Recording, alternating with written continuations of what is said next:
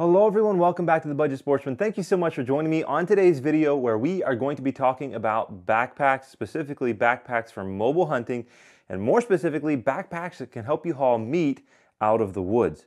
So a couple years ago, I made a video about these two backpacks right here, the Mystery Ranch Pop-Up 28 and the Mystery Ranch Pop-Up 38. That was probably about three or four years ago now, and these have been my go-to backpacks for that time. Really, on this side, the Pop-Up 28 is my workhorse. I'm a saddle hunter here in the East, hunting uh, primarily whitetails. And this has been just my go-to pack for saddle hunting here in the East. And I'll show you a little bit more about this pack in a minute, but I've also taken this backpack out west as well, hunted elk in it in a day hunting situation as well. And then on a rare occasion when uh, I need more space than the 28 has to offer, maybe I'm hauling some heavy uh, bibs and coats and that kind of stuff, then sometimes I'll make the transition to the 38, but really the 28 has been my go-to. So recently I started wondering, is there something better on the market? I mean, I've loved my pop-up 28, but is there something better than that on the market that would be a good upgrade for me and something that I could share with all of you. So I started trying to get my hands on a couple of different backpacks and I have three of them that I want to show you today and just kind of compare them to what I'm used to and see if they're right for you. But before I dive into the backpacks that I have on the table today, I want to make something really clear. In this backpack comparison video, I was only looking for backpacks that are able to haul meat out of the woods. See, over the last couple of years, what I determined is that when I get a whitetail down on public land, back in deep somewhere, I would much rather quarter that on the ground and pack it out in quarters, much like many Western hunters do, than to actually drag that thing for even a half a mile or a mile Trust me, even a small deer, I just hate dragging, and so I'd rather quarter it and pack it out. All right, here in the table are the three new packs that I want to show you today, and we're going to go through them one by one, but I just want to introduce them quickly. Here on the far left is the Mystery Ranch Pop-Up 30. This is basically the update to the Pop-Up 28 that I've been using for quite a few years. This here in the middle is the Alps Outdoors, uh, the Elite 1800 pack. And then over here on this side is the Eberlestock X2, which I know is really popular with a lot of saddle hunters and eastern whitetail hunters. So before we dive into these three packs, I do want to go in a little bit more depth into the pop-up 28 that I've been using for all these years so that we can get a fair baseline of what I'm used to when we start looking at these other packs. All right, so here on the table I have the Mystery Ranch pop-up 28. This has been my go-to for the last couple of years. Let's take a quick look at it. First thing you're gonna notice is you get a nice pocket here on the front of the pack. It opens up and inside, it's gonna probably be hard to see on camera here, but inside you've got these two mesh pockets. Now I really enjoy these compartments. Uh, right there you can see an old tag from last year. Um, but I put my wallet in there, I can put a battery bank in there. There's a lot of things that fit really nicely in those two little mesh pockets and also other hunting accessories that I often keep in this particular pouch. Up top you have the brain what I'm going to call the brain, kind of the lid of the whole, uh, whole backpack here. And I often store snacks in there, maybe a spare release, uh, phone charger, a lot of stuff I store right on top where I want to be able to get easy access to it when it's hanging in the tree.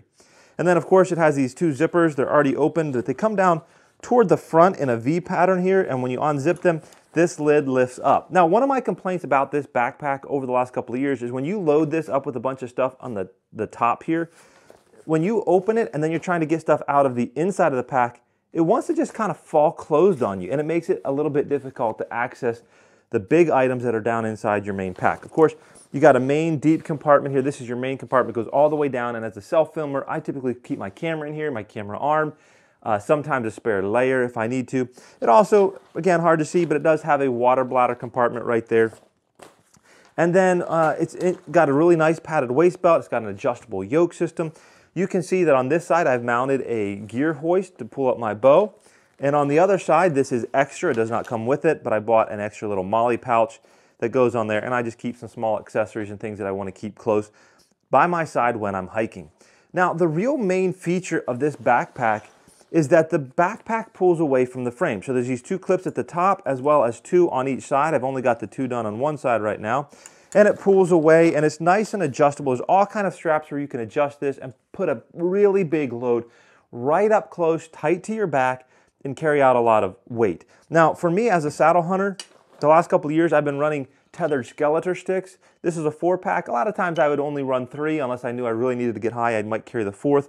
Probably gonna be switching sticks this season, but I just wanna show you these uh, because it's what I've got here on hand and what I've been using.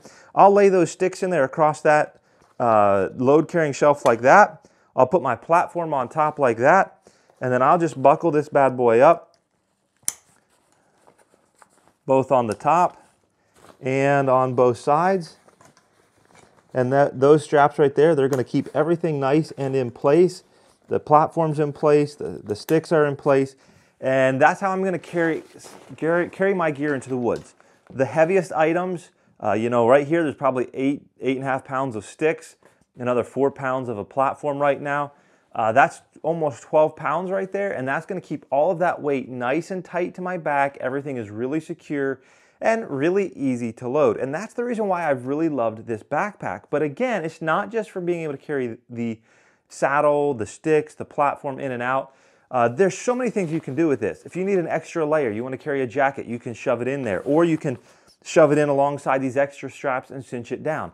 But again, if you want to haul meat out of the woods, this pack right here is phenomenal. I've done it many times. I've uh, put meat in bags and hauled meat out of the woods in this same shelf right here. Now, to be fair, a lot of times I have had an extra person with me, oftentimes carrying the pop-up 38 or another backpack, where they could help take some of this weight from me. But I don't think you would have any trouble at all if you know if you can handle the weight and fitting your sticks, your platform, and some cut up deer meat or bone bone in quarters in this backpack and carrying them out and not have to drag your deer. So this is the pop-up 30. Obviously, the 30 implies that it is slightly larger in carrying capacity than the 28. And so I'm not going to spend a ton of time, but I do want to compare the differences. Again, you've got an adjustable yoke, you've got the pop-up frame, really nice, really padded waist belt. Again, you're not going to get any waist belt carrying pockets here. Those are something you'd have to add extra, but it is a Molly system, so you could either buy from Mystery Ranch and buy their little pouches or just buy any kind of a pouch that has Molly attachment to it. Now, one of the things that I really like that they did about this pack is on the old pack, the entire pack was held up by connecting to this bar right here. Now this bar moves as you pop the frame up and down, and depending on its height, sometimes you couldn't really get the bag up and tight. It kind of wanted to sag a little bit. You'd have to sort of cinch it up from the bottom to support the weight, but you weren't really supporting it from the top. What they've done on this, and let me pull away the frame here a little bit, hopefully you can see this, but if you pull away this yoke, the top is held up by these two clips right here. You unclip it and pull this material over the top and pull it out, and then you can pull your pack down. I really like that because this piece right here always is the same height, and the way that wraps around there, it supports it from the top really, really nicely. Now, another change that they've made on the pop-up 30 here is that this top bar is actually curved. On the old pop-up 28, it was straight. Now, most of the time that wasn't a problem, but there are certain situations where if you wanted to put your head back like this, or maybe if you wanted to belly crawl with your backpack on, where that bar did end up hitting you in the head and making it a little bit difficult. So I think this curved bar is a really great improvement.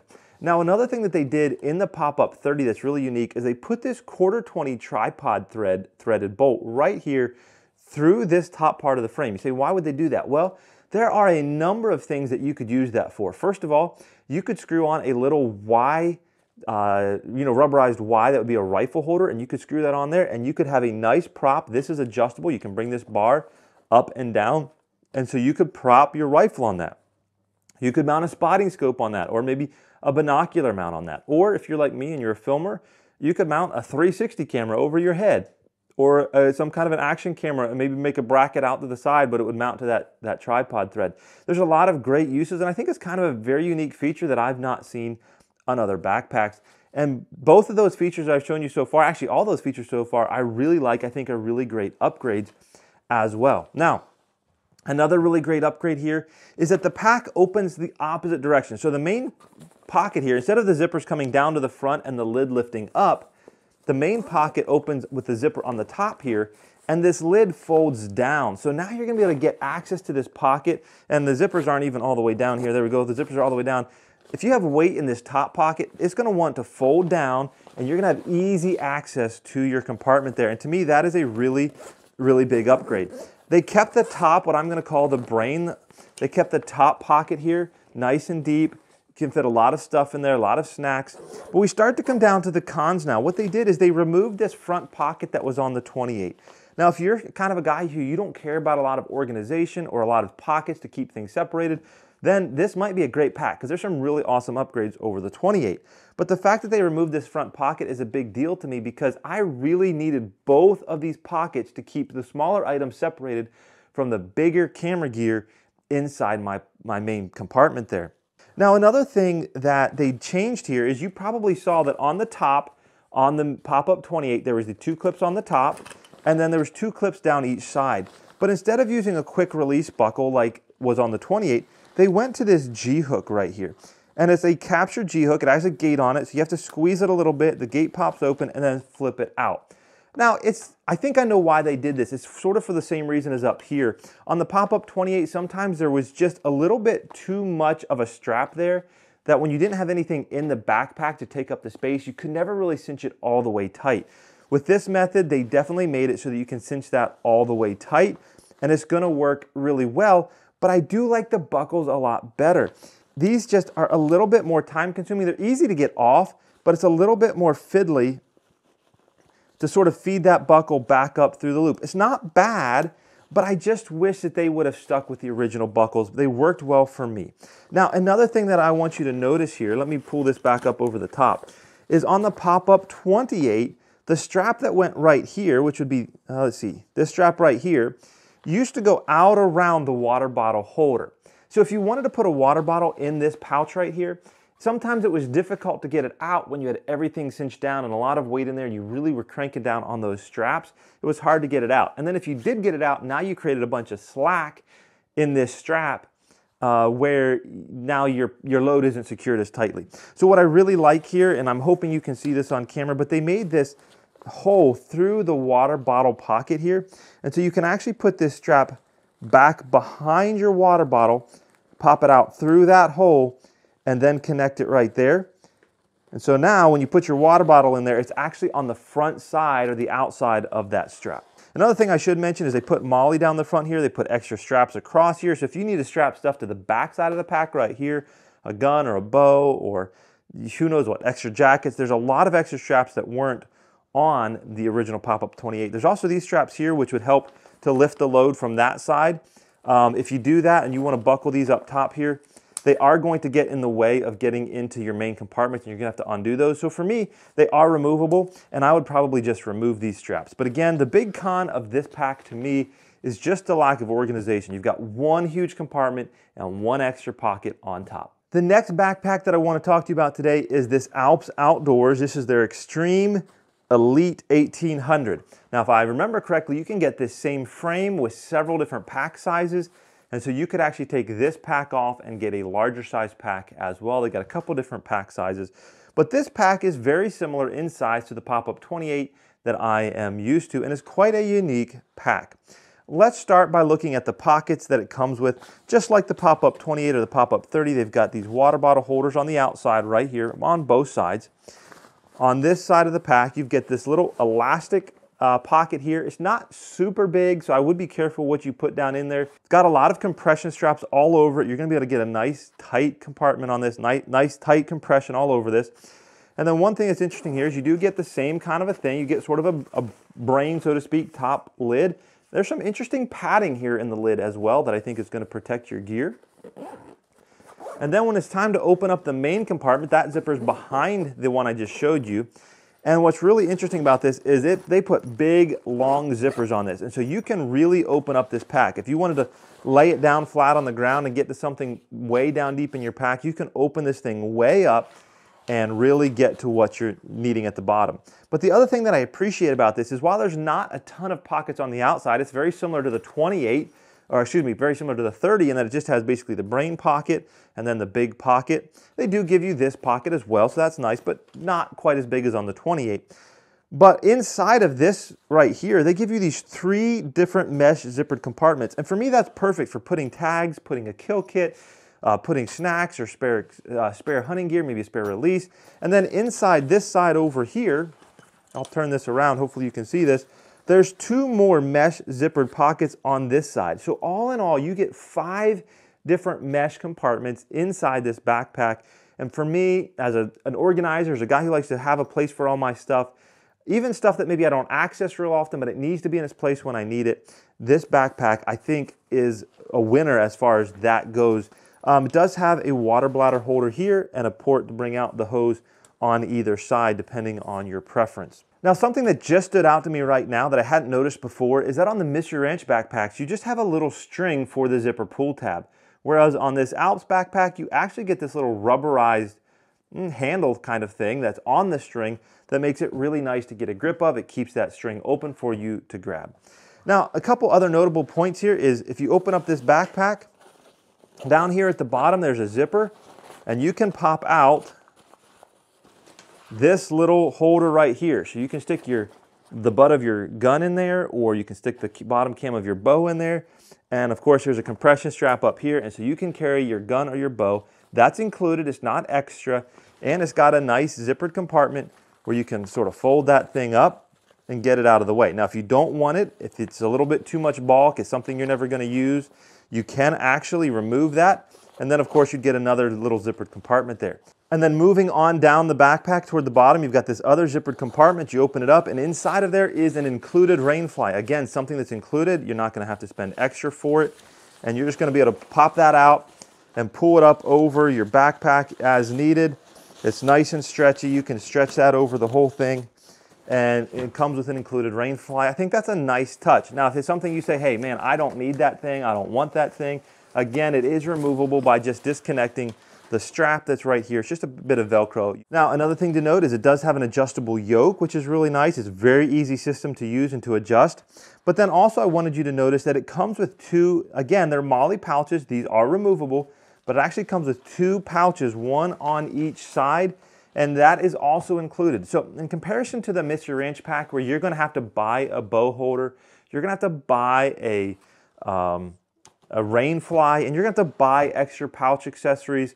I think you're getting a lot of features on this backpack, and I think it's quite the interesting backpack. Now, one of the things that makes this backpack a little bit of a frustration for me is, again, instead of using those uh, quick release buckles, they use G-hooks all the way around. Now, on the Mystery Ranch 30, they use quick release buckles on the top and G-hooks on the sides. And I think that was a good decision because what I find here is on this Alps Outdoors pack, these ones here, especially on the top, you get the weight of the backpack hanging down and they're tricky to get off. They really are.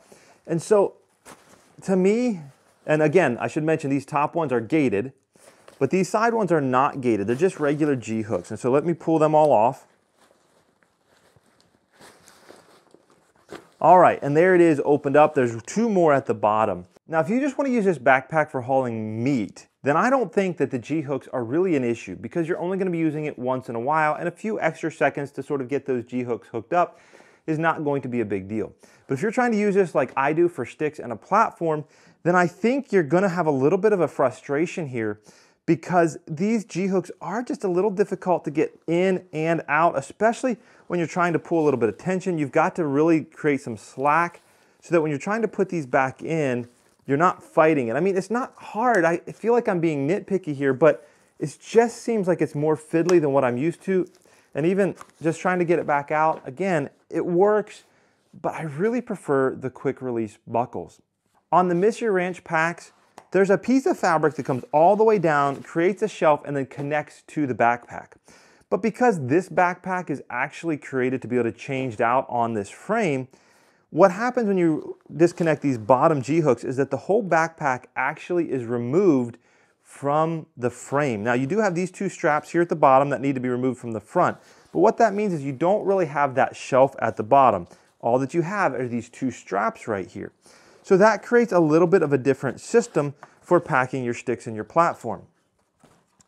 Now what I would do here is I would probably just not disconnect those bottom two buckles I'd place my sticks in. So then what I would do with my platform is I would either just put it right here and then strap everything down, or one thing that I noticed is that they have these extra straps right up here connected to sort of a row of molly. Now these straps, I guess, are just extensions that it could be used on any of the compression straps around the backpack.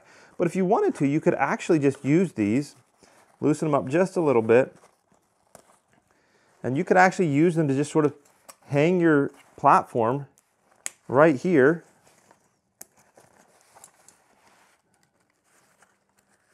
And then you can just close up this backpack as needed with extending these straps up like that. Now another unique thing about this pack, I already mentioned that you can remove the backpack from the frame and I believe you can actually get different size packs that you can put on this same frame.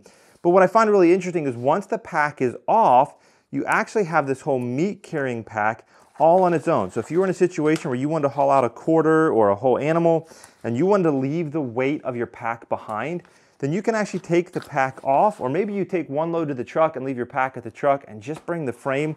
But now you've got a meat carrying frame. You still have a water bladder holder right here. You have an extra little pocket right here if you just need to put tags or your keys or your wallet or something like that.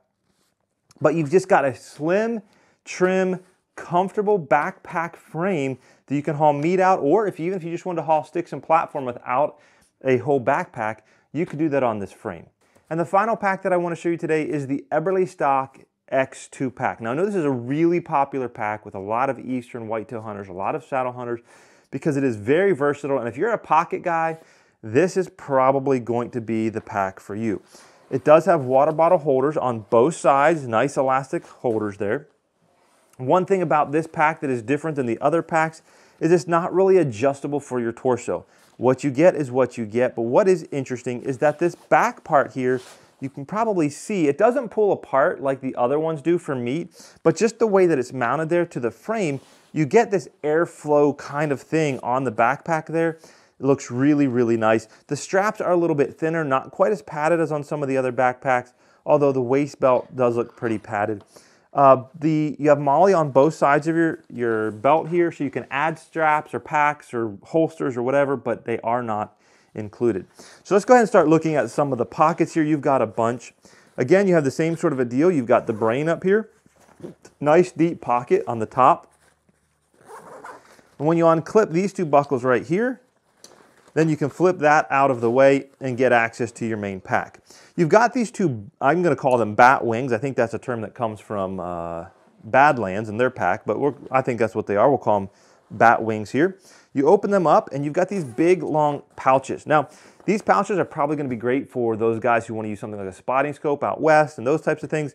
But there's a lot of uh, things that you could put in here, a thermos, a number of things. Now for me, I'm just gonna reach over here on the floor. I was really hoping that these would fit my camera arm. This is my camera arm that I've been using for the last couple of years, but it does not have the tripod head on it right now. And it does fit without the tripod head, but if I'm gonna use it like this, I'd have to take off the tripod head for every single hunt. I've got a fluid head because it is just simply not going to fit in there unless I'm gonna like let it hang out the side. So for me, that was a little bit of a disappointment because I was really hoping that my tripod with the head, or excuse me, the, the camera arm with the tripod head would fit down in one of those bat wings. You do have a bat wing on both sides. They're the same on both sides.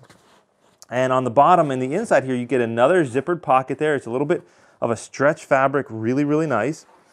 And then right down the middle here of your main pack, you get another stretch pocket, and it's deep. It's not like the one on the Alps pack. This is really nice and deep pocket there think that'd be really useful, maybe throwing rain gear in there, hat and gloves, a number of different items.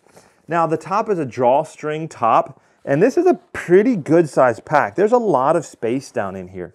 And what I love is that you can either access it from the top, or if you wanted to lay it down, maybe on its side, you've got this big zipper, and this is not a separate compartment. This is a zipper that goes down into your main compartment here. And so there's two different ways to access it. Again, if you want to get something down on the bottom without digging through, that is a great way to do it. Now, this is a, a, pack that is customizable. I'm just telling you what. There's molly all through here. There's molly here. There's molly down on this strap, which I'll mention more about in a minute. There's molly on the outside of this pouch right here. There's molly on this side. There's molly on this side. There is molly um, over here on the lid. So if you want to add molly uh, accessories to your pack, this is the pack for you. I'm just telling you what. Now, if you remember earlier in the video, I said that a, a, backpack had to be able to carry meat if this was going to be a pack that I would add to my video. Now, this pack is very different. It does not separate from the frame like all of the other packs that we looked at earlier in the video. This one really is advertised as a meat hauler, but it's gonna use this shelf right here to support the weight of your meat or whatever that load is that you're gonna carry. And then it has these bat wings that are gonna be able to come around and compress everything down really nicely. Now, one of the concerns that I have about this is that the bulk of your weight is going to be that meat or it's going to be your sticks and your platform. And what this does is it puts it further away from your back rather than putting all that weight nice and close to your back. The other thing that this does is it means that you're gonna be compressing that meat down against everything that's in your pack. So if I've got a camera in here and I'm gonna compress all of that weight down into my, my camera rather than compressing all of the, the pack down against the meat, which I think is the better option here.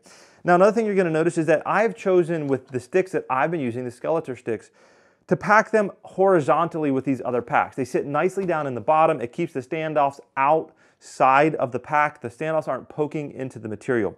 But if I did that on this pack, I certainly could fold this up around the bottom like that, and I could put my platform on top, but it would be kind of difficult to close these bat wings. So I think this would be a better system to haul your sticks vertically. But if I haul four sticks vertically right there, it gets to be a lot. It's really sticking out deep. This is gonna have a hard time wrapping up around.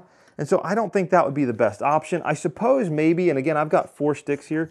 So I suppose, may, suppose maybe the answer would be to stack two side by side, and that may be a better solution right there. But I also wanted to show you what it would look like with a smaller set of sticks, which I think is probably the answer here. I've got a three pack of tethered one sticks, and those fit pretty nicely in there. And I think that would be the way to go is if you had a smaller package of sticks. Again, I could sort of put my platform there. And certainly once I fold this down around, could I do that? Absolutely. Could I fold these bat wings around and buckle them up? Absolutely. All right, there it is. But you can definitely see the difference between a smaller profile stick like the tethered one stick and something that's a little bit bulkier like the tethered Skeletor sticks. This certainly works, but again, I'm just telling you that this weight is going to be further away from your body. Now another option here with this pack would be that you could put your platform in first, buckle it down with this load shelf, and then take your sticks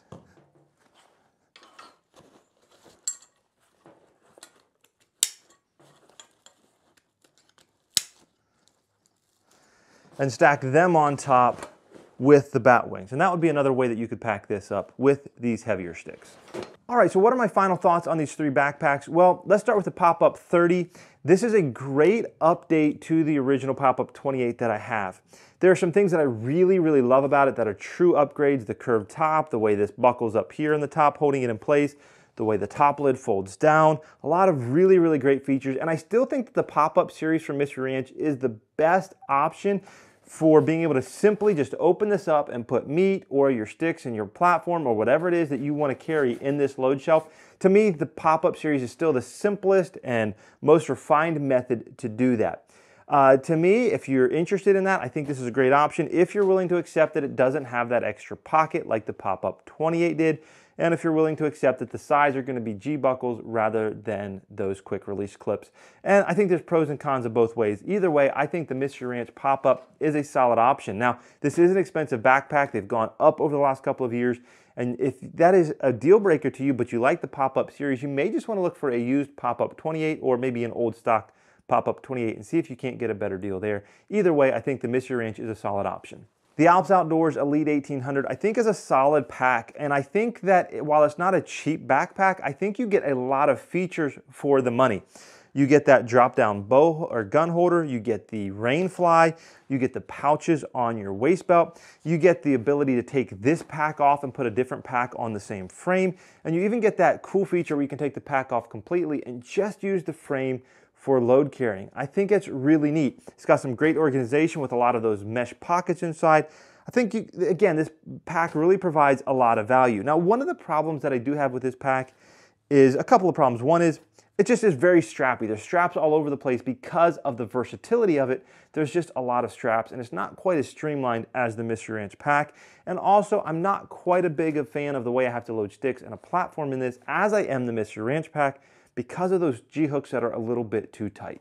And finally, the Eberlestock X2. I think this is a really awesome, very versatile backpack. It's got a ton of storage, which I like. I love organization and pockets and storage, and it's got a good bit of that in this backpack. For me, it was a little bit of a bummer that it does not fit my camera arm with the uh, head in one of these bat wings. But overall, you've got a ton of storage, you've got a ton of molly for a great versatile backpack, and you can set it up how you want. For me, the downside of this pack is that it's just not going to carry the sticks and the platform in a way that's quite as easy for me, uh, quite the way that I really want them to load in there. And while it can haul meat, I think you would want to do that with your backpack completely empty. because if you put a bunch of stuff in your backpack and then put the meat on the outside of that, you're gonna have all of that meat hanging further away from your back, making for probably not the most comfortable carry in your life. And again, you don't have any sort of adjustment on the yoke system, so that's a little bit of a disadvantage as well. But overall, if this backpack fits your needs, it's a quality backpack with a ton of storage and I think a pretty versatile system as well. So let me know what you think down in the comments. Do any of these backpacks seem like they're gonna fit your needs? Which one is your favorite? And what have you been using out in the whitetail woods? Or maybe you're a Western hunter. Let me know what you think as well. Until next time, remember to get off YouTube and get outdoors into God's great creation.